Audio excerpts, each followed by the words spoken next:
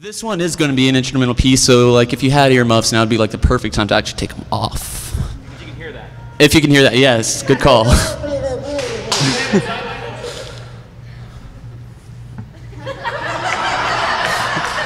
All right. Uh, so yeah, here we go. Let's let's see if I remember what I what I did. I think it was. Uh, sounds pretty.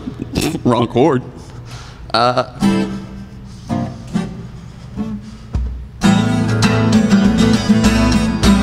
hey,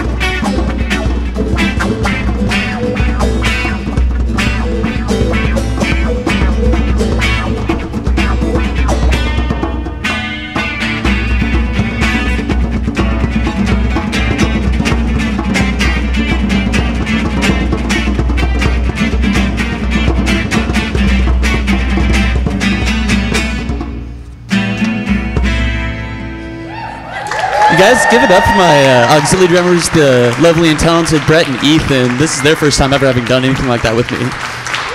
So, thank you very much.